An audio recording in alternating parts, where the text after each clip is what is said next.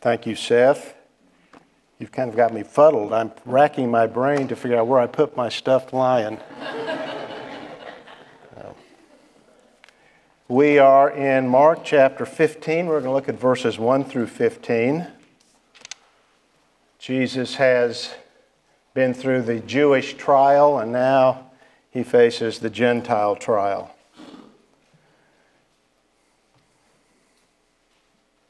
Early in the morning, the chief priests, with the elders and scribes and the whole council, immediately held a consultation. In binding Jesus, they led him away and delivered him to Pilate. Pilate questioned him, Are you the king of the Jews? And he answered him, It is as you say. The chief priests began to accuse him harshly. Then Pilate questioned him again, saying, do you not answer? See how many charges they bring against you. But Jesus made no further answer, so Pilate was amazed. Now, at the feast, he used to release for them any one prisoner whom they requested. The man named Barabbas had been imprisoned with the insurrectionists who had committed murder in the insurrection.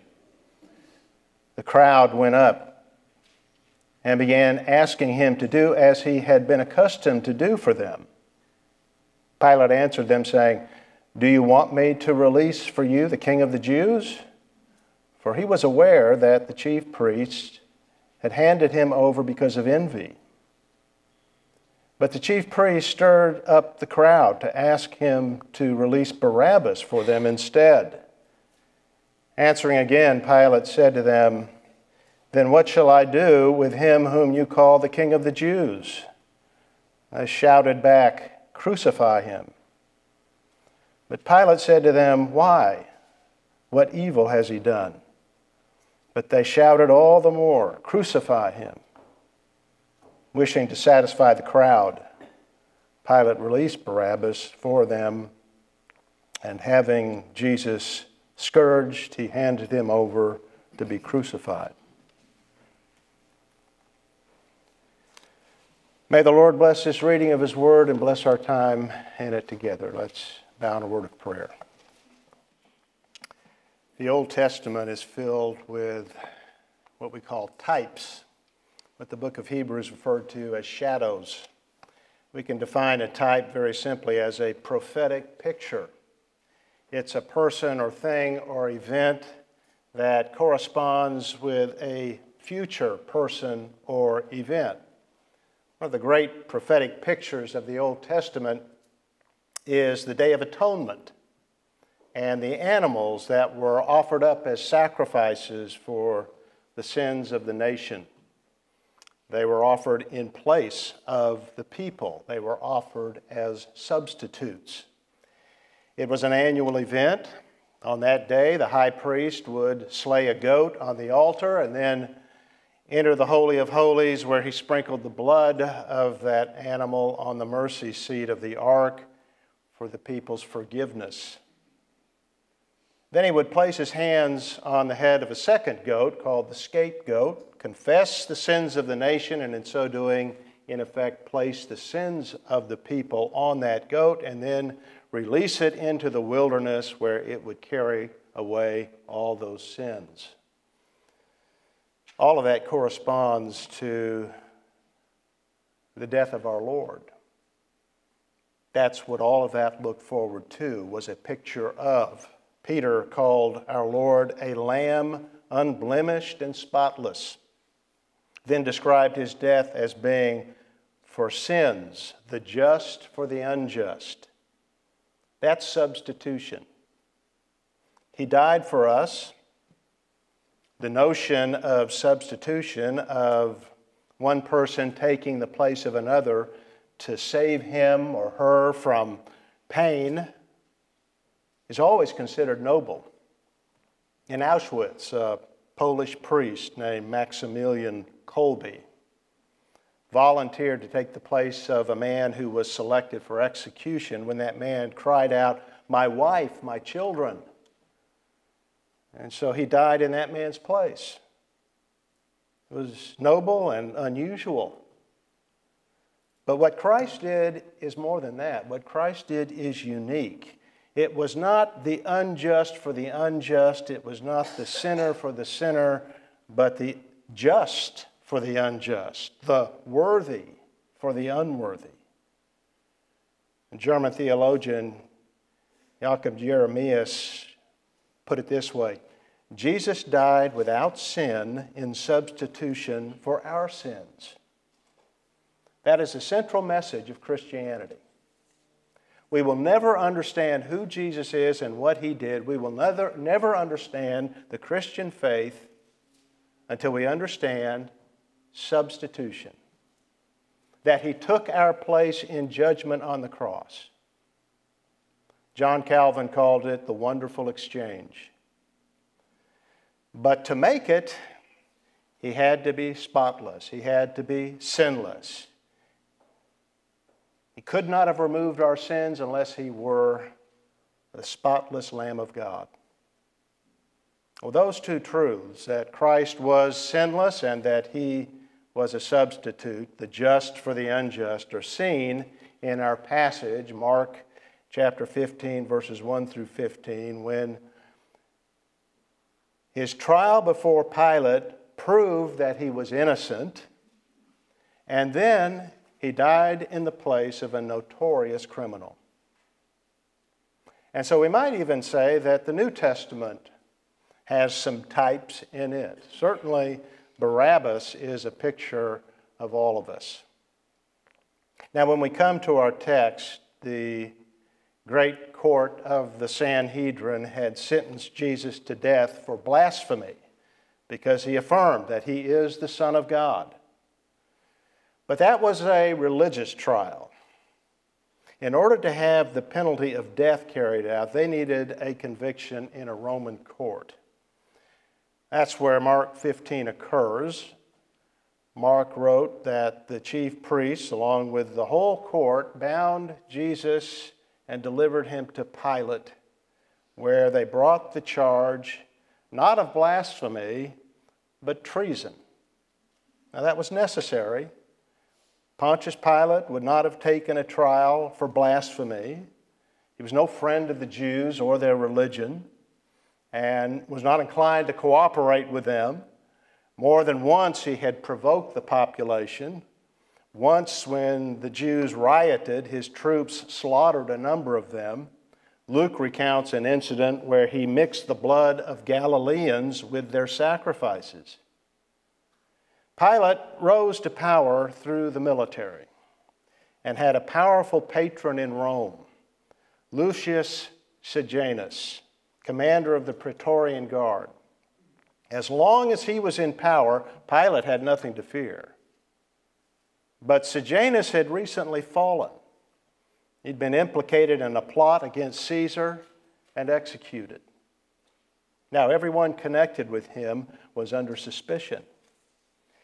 And this gave the Jews some leverage over the governor.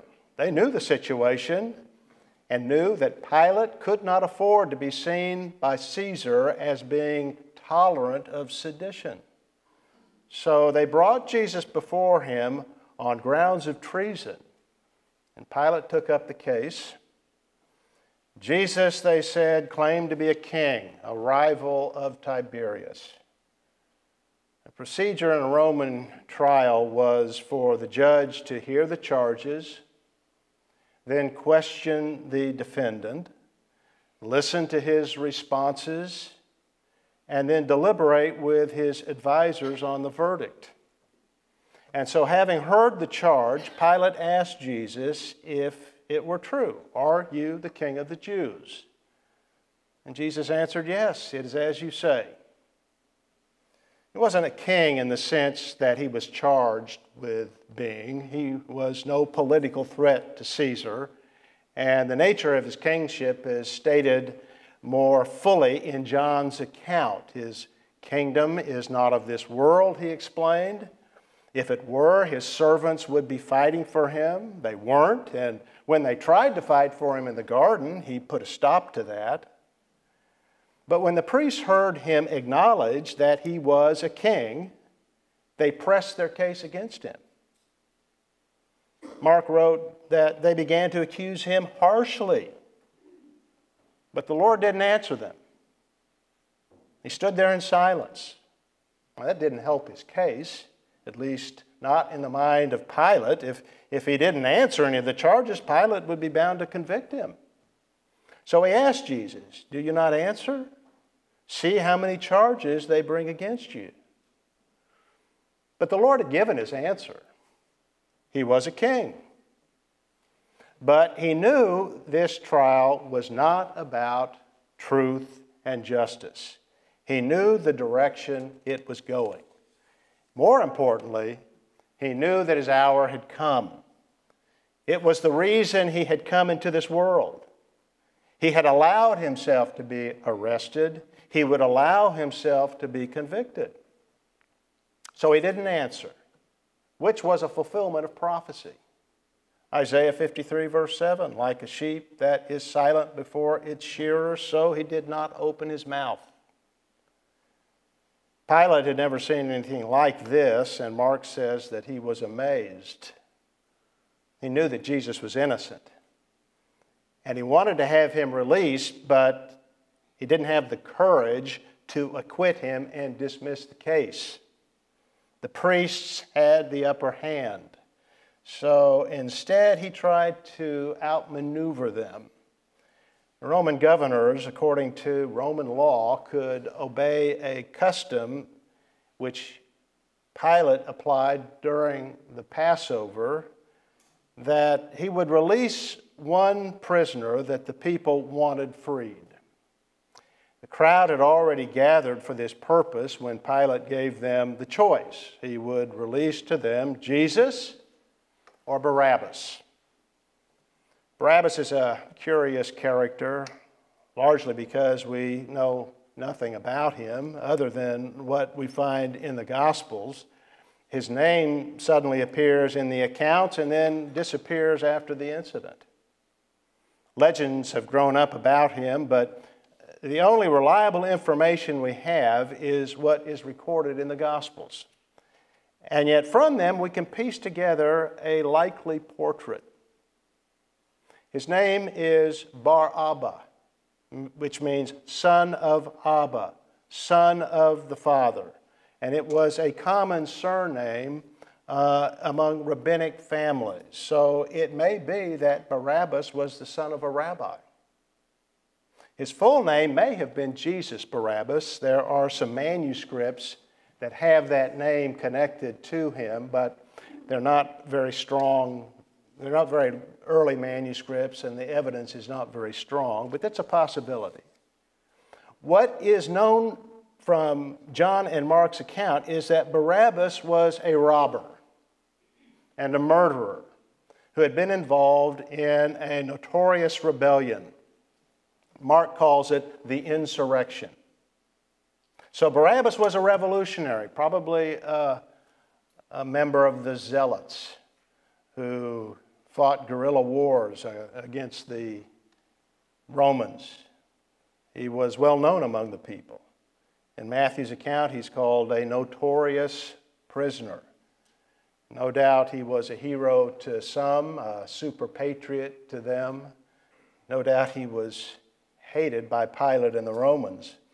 But Pilate must have known something of the popularity of Jesus. Mark indicates that that he did in verse 10, where he says that Pilate knew that the priests were envious of him. That's the reason they delivered him over to them.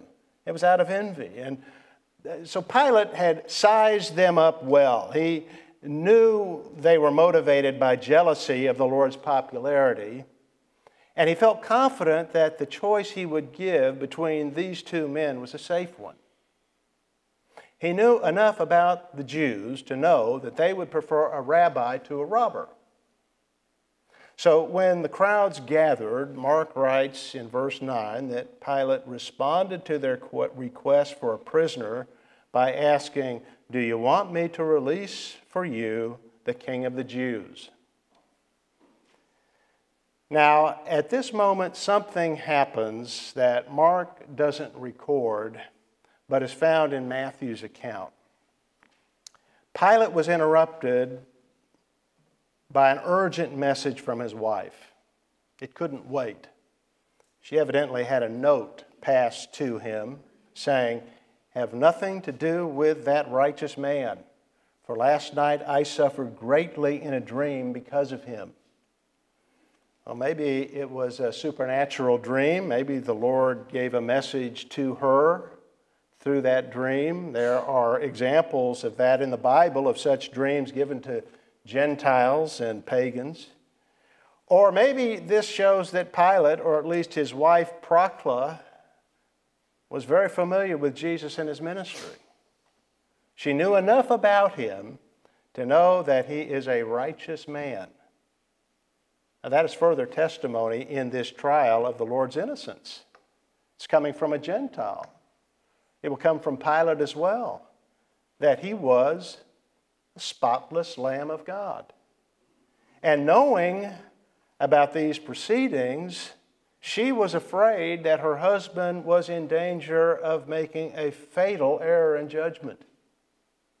Well, whatever the origin of the dream, divine revelation or human wisdom, it was providential and it was a last warning given to Pilate. During this time, Mark says, the priests used the delay to their advantage and they worked the crowd. They um, probably were dealing with a crowd that was different from the multitude that uh, we saw earlier in that week that accompanied Jesus over the Mount of Olives and into the city of Jerusalem in what's known as the triumphal entry. They hailed him as king. Well, they were mainly pilgrims from Galilee. So they were Galileans, and these were probably Judeans gathered there that morning. Still, they knew Jesus. They knew him by name, certainly. They knew his reputation. It had filled the land in both Galilee, Samaria, and Judea and Jerusalem. And they had likely heard him in the temple teaching, where he did every day. But the priests likely circulated stories among them that they had fabricated about him. And they were able to turn the crowd so that when Pilate asked again which prisoner they wanted him to release, they demanded Barabbas. They chose that son of the Father over the true son of the Father. Pilate was at a loss as to what to do. He could only release one, and the other had to be crucified or executed. And so he asked, Then what shall I do with him whom you call the King of the Jews? And in verse 13, Mark gives their immediate response. They shouted back, Crucify him. Pilate tried to reason with them. He knew Jesus was innocent. This made no sense to him. He said, Why? What evil has he done? But they wouldn't listen to reason. I think a psychologist would explain this as mass hysteria and the madness of crowds, but this wasn't that. This is something far more sinister. This was satanic. Still, the people knew what they were doing and cried out even louder Crucify him. In John's account, when Pilate resisted, the priests played their strongest hand. They said, If you let this man go, you are no friend of Caesar. And I can just see as they say that, Pilate in his mind seeing Sejanus and knew he could not afford to offend Caesar. Besides that, Matthew said that Pilate saw that a riot was starting. He wanted to free Jesus, but not at the expense of a riot, and certainly not at the expense of his own life. So Matthew wrote that at this time he took a bowl of water and washed his hands and said, I'm innocent of this man's blood. Again, there's a testimony to the innocence of Christ. There's a testimony to the spotlessness of Christ. But he's the only one that's innocent here. Pilate certainly was not innocent. Pilate was willing to pursue justice, but only up to a point. When it threatened him, then his courage didn't match his convictions. He punted. In the end, he was no different from the priests. They both rejected Christ for expediency, they rejected him to protect their own personal interests. And so Mark writes in verse 15 that Pilate released Barabbas, had Jesus scourged, and handed over to be crucified.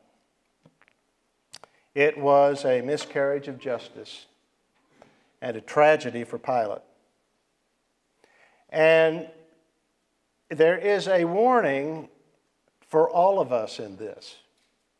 Pontius Pilate could never have known when he woke up that morning that he would face this crisis, a crisis that would make him a notorious figure of history and one that would define him as a man.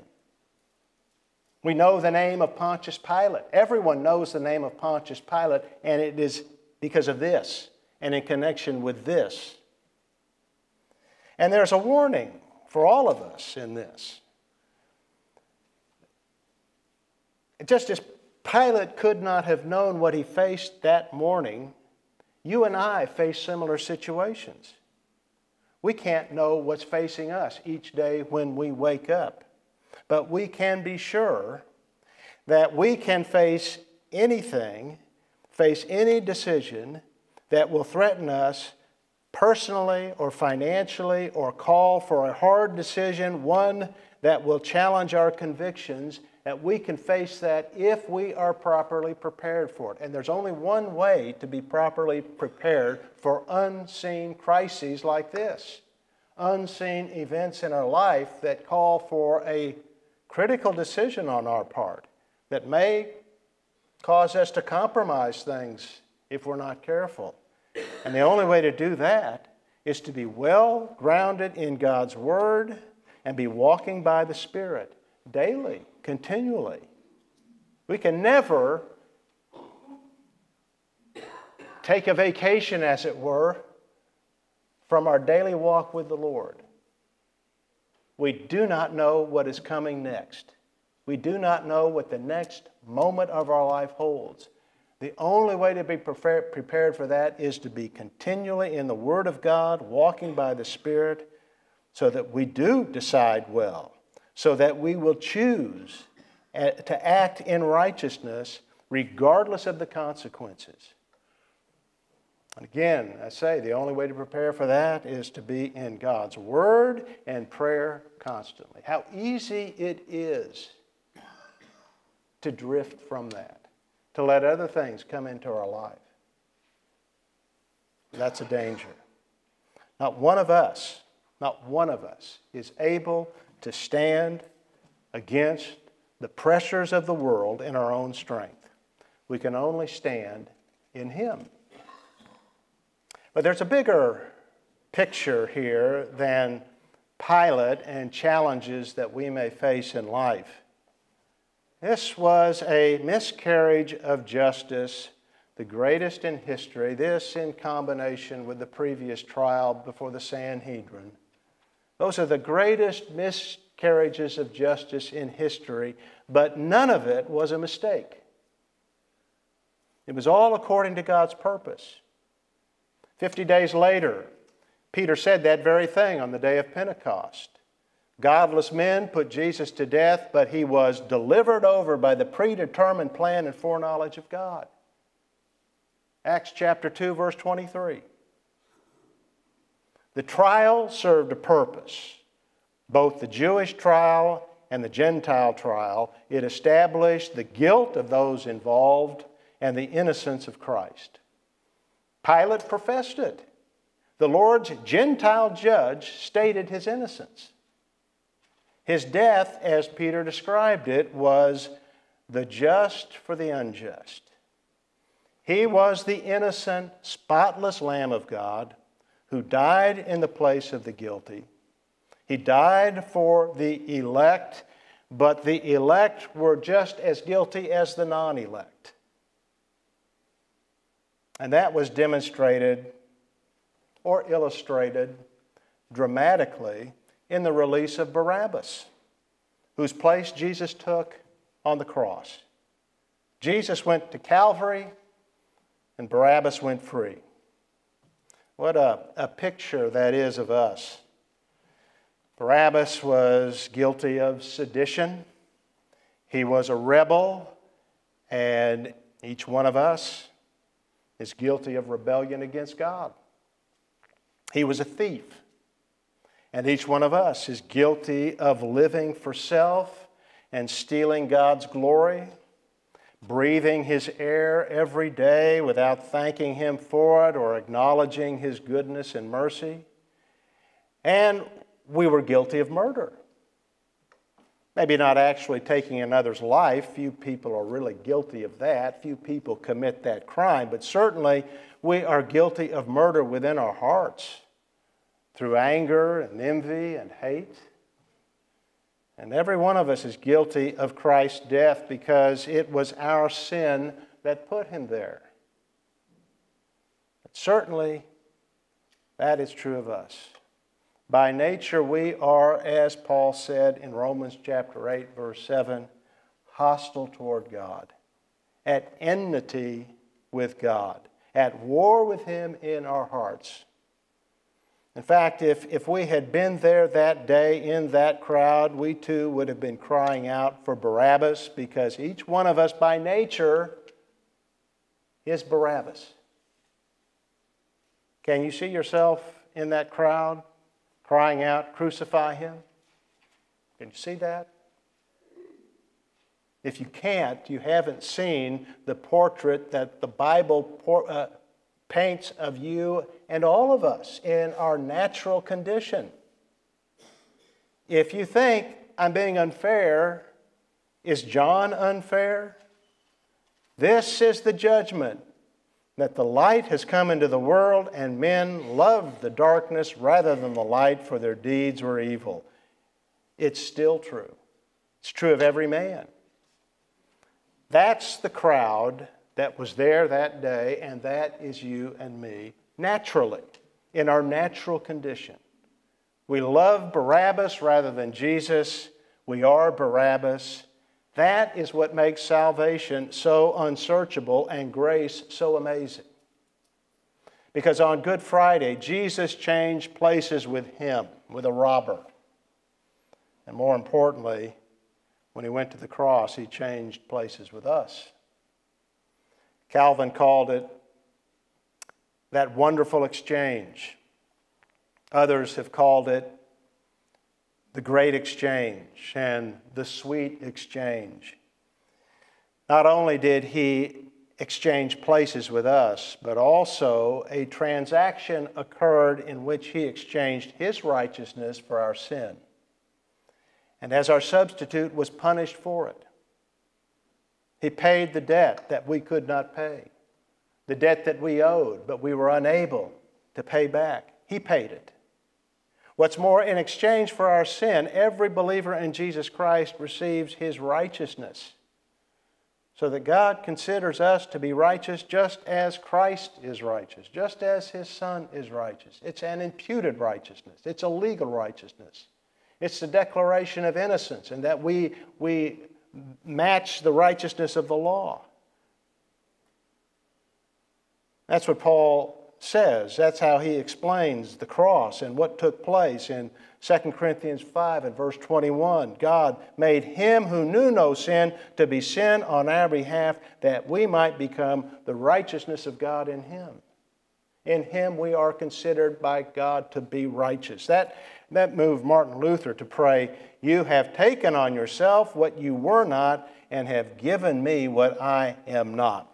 And what I am not in and of myself is righteous. The righteousness I now have is an alien righteousness. It's that, that which is gifted to me by God. And that's what God does. As Paul wrote in Romans 4 5, He justifies the ungodly. He imputes to the ungodly, he transfers to the ungodly righteousness even though they are sinners. And he can do that because Christ traded places with us. A great exchange happened. He took our sin and gave us his righteousness. He took our death and gave us his life. And all of that becomes ours through faith, not by works, not by our personal effort. He justifies the ungodly, not the self improved. He saves us where we are in our sins. And he applies all of that at the moment of faith and through faith alone. It's all of grace, free and sovereign grace. Again, Barabbas gives us a, a, picture of that, picture of grace in more than one way. And one way was in the way that grace came to him, completely unexpectedly, completely undeservedly. When he awoke that morning, he must have awakened with great dread if he was even able to sleep that night. He knew that in a few hours he would be hanging on a cross. When he heard the noise of the crowd outside and heard them shouting Barabbas, he might have thought they were calling for his blood.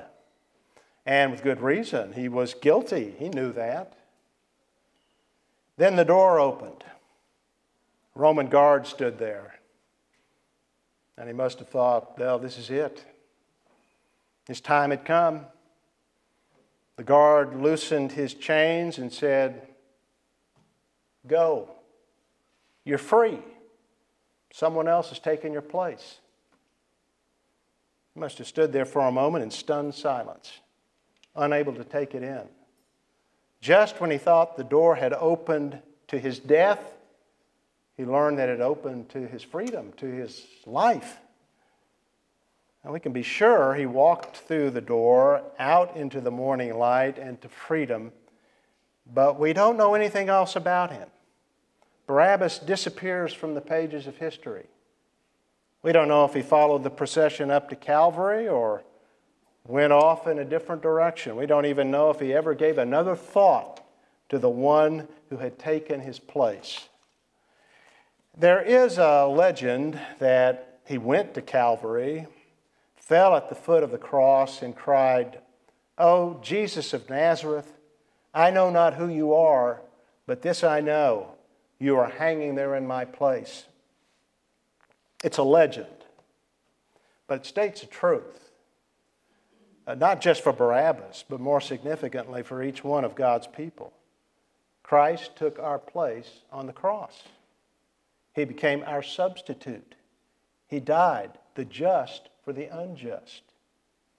And the grace of God that put Christ on the cross found us in a desperate and doomed condition, like a prisoner chained up in a dark dungeon, helpless and hopeless.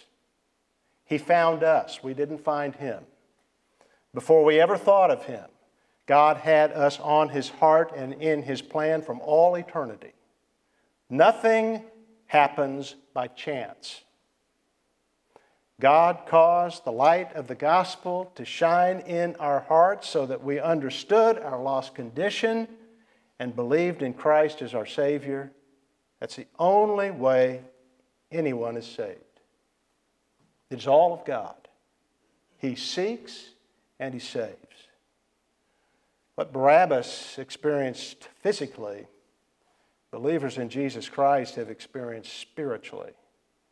And because of that great exchange and sweet exchange, we can sing, He breaks the power of canceled sin, He sets the prisoner free. That's true of every believer in Jesus Christ. Have you believed in him? Or are you still like Barabbas in jail under sentence of death? Are you like that crowd, choosing Barabbas over Christ, preferring something else, some earthly thing, some temporal pleasure, some other path to the promise of life in Jesus Christ? If that's true, you've made the wrong choice. Christ died to set the believer free from the penalty and the power of sin, and only He can do that. Only He can set the prisoner free. If you want freedom, real freedom that is unto eternal life, then believe in Jesus Christ. He receives all who do. And sets you free, sets the prisoner free. If you're a believer, you've been set free. Live for Him. As Paul told Timothy, lay hold of your eternal life. Live it and live it to the full. May God help you to do that. Help all of us to do that. Let's pray. Father, we thank you for your goodness to us. We thank you for this disturbing passage, this passage that cannot read without being a bit grieved by it. But what a glorious passage, what it pictures for us, and what our Lord went through and suffered for us. If we want a picture of the love of God, there it is suffering injustice because He knew that this was the way to the cross and for salvation for us. And He suffered it willingly for us. Lord, make that thought, that truth, take root in our heart and affect us in the way we think and the way we live. May we live to your honor and glory, we pray. In Christ's name, amen.